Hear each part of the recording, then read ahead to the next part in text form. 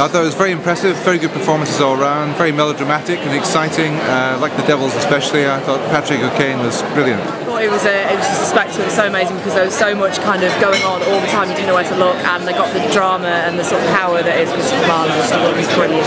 I thought it was very good, very uh, enjoyable and exciting, and a really enthralling evening all round, and very good performances from everyone involved. Really, really good. I thought it was very good indeed. Beautifully produced, and the effects were excellent. I thought it was stunning. Uh, epic piece. Um, the first five minutes, I thought, oh gosh, right, I'm gonna have to really pay attention. It's gonna be a lot of words. But the set pieces and the magic and the sleight of hand were just extraordinary. Well, they're amazing, absolutely stunning. I thought the show was absolutely brilliant. Um, the, the magic was fantastic. It, it was just really, really well performed. The actors were brilliant. Uh, everything was great about it. I thought it was absolutely magnificent, and I thought that the guy who played Faustus was just amazing, and the relationship between him and Mephistopheles was astounding.